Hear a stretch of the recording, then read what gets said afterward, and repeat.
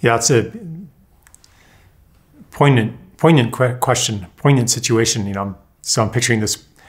So the, the, the situation here is a, a, woman who's feeling pretty beat down, pretty in a pretty dark place, um, but loves to draw, loves to do art. And when she starts doing it, she comes alive for a few days or weeks or even months. But then this feeling of what's the point encroaches upon it, and she shuts down and she stops doing it.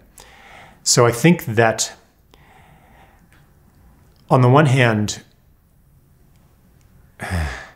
we have to be able to do things not always knowing what the point is, because we do not know right now how to get to what I call a more beautiful world. We know that it exists, and we know that we have a role to play in bringing this world into reality. But we don't know exactly how to get there. We don't have a roadmap that because a roadmap would would depend on our existing concepts of how change happens and how the world evolves. But the world that we're moving to is bigger than those concepts. It is literally new territory. So so we don't have a map to get there, and, therefore we can't rely on what our mind tells us is um, sensible or not sensible. That what's the point or what's not the point our mind says, well, drawing pictures and painting pretty pictures, that's not going to help us get to a more beautiful world. Working on your your your faces, you know, your your drawing technique. I mean, what good is that going to do in the context of everything that's happening on this planet?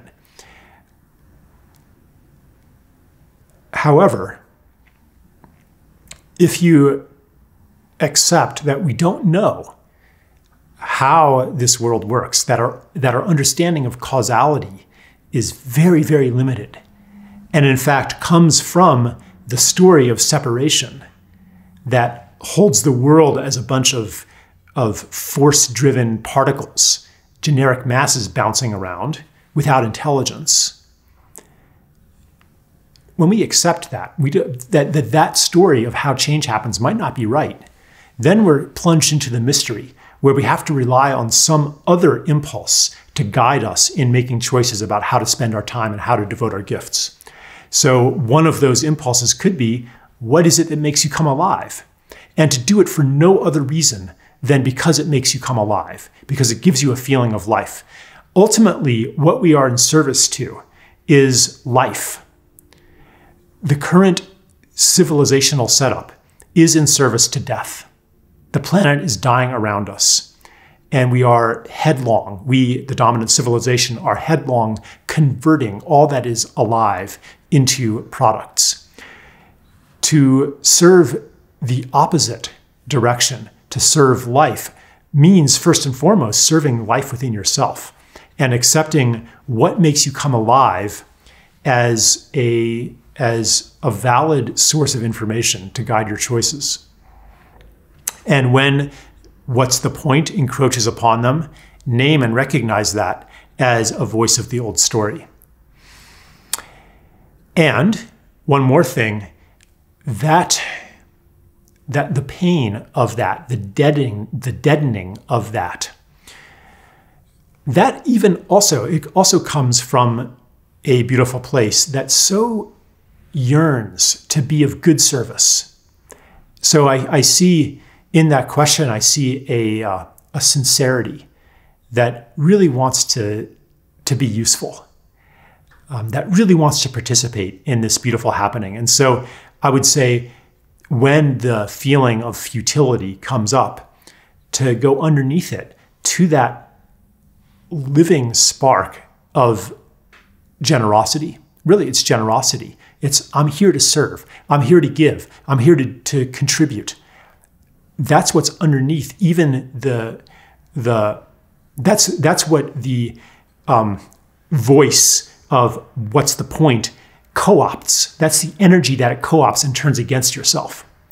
So to validate that and to understand that that voice is um, using the intuitions and concepts of the story of separation and then to say, yeah, it is okay to trust what makes me come alive.